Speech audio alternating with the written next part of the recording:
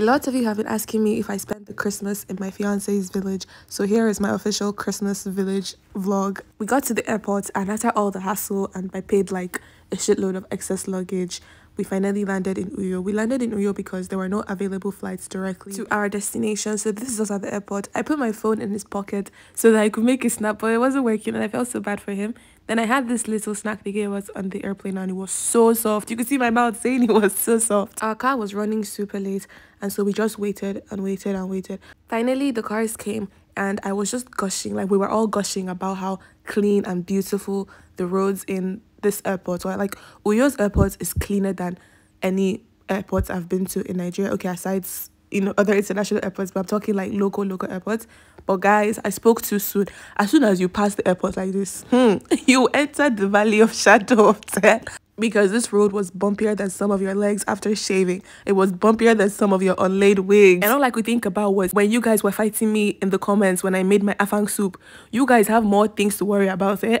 People. Oh, I'm an Akwa girl. I'm an Akwa Ibomite. You made afang wrong. Come and focus on this road. You people.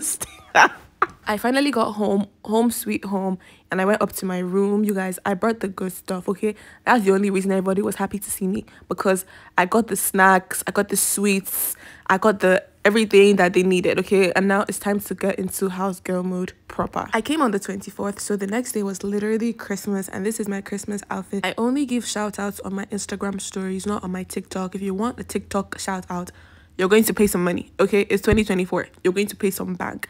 And my brother was like, come on, stop showing everybody your engagement ring like you're engaged. Like, we're tired of the fiance jokes. And let me tell you, I am too. I didn't go to any fiance's village. Like, a boyfriend, I don't even have. But you guys, I drank an unhealthy amount of malt. And so, when you're in the village, you have to drink. In fact, malt is the only thing you should be drinking in the village. And of course, Chi Exotic. I don't know how I went from one sugary drink a week to eight sugary drinks a day. But that's what Christmas is for. I also spent a lot of time in the kitchen. This isn't like the city where you'll be filming anyhow. Okay, it's another drink again. but I spent so much time in the kitchen eating and making food for everybody else.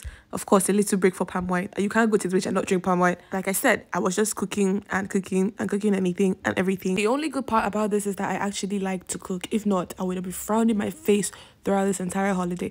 Being the only girl in the household during the Christmas season, let me tell you, I don't wish this on my worst enemy. No, you don't eat snail in 2024. Grow the fuck up, okay? I also made like plantain and yam porridge. Plantain changes everything in the game. And of course, I ate rice and beans and stew, okay? Just because I don't show you guys actually cooking rice separately and beans and separately and stew separately, what did I just say? It doesn't mean I didn't eat it. I also made catfish pepper soup. Amongst like various things. I don't have strength to be filming everything, okay? And I also give you guys some looks. I tried my best to serve you guys some fits. All my business casual, chic, school outfits, Abuja outfits out the window.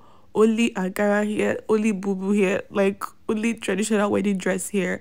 But I think I actually ate all of these up. So screenshot, screenshot. Don't ask me. Just take screenshots, send to your tailor. Don't ask me anything. I also spent a lot of time with my family, which is the most important thing. And one of my family members is akpu. Let me tell you, I share is in my veins, is in my blood. I cannot go to the village and not eat fufu. Like it's never going to happen. You don't eat akpu because it stinks. Grow the fuck up, okay? We had a very serious game night that ended up in the cards being shredded and looking like this. Also, more time in my family. So many people came back. This was the video I posted and I captioned I'm in my husband's village. And then everybody started texting me, oh no no, are you really married? You lied to all of us. Guys, I'm going to stop playing. I'm time for seriousness this year. So there was this snake that was like curled up in here and hiding, but anyway bye bye to you snake. Then there was this turkey that terrorized me this entire period. I know he looks calm but trust me he was a menace. And i promised him i was going to use him to make stew. And guess who who had the last gobble mr turkey? Guess who? This stew came out so fire and i wasn't eating turkey till like last year because i had this turkey from yellow plate that changed my mind. And then that same night of the snake and the turkey a bat came into the house. We are very used every single time we come home a bat must come into the house. But anyway bye mr bat. And then i ended up leaving the village earlier than i thought i would. And guys i was here here for a very long time at this airport. And in the short short time i was here like three whole fights broke out like physical like boom boom like punching fights.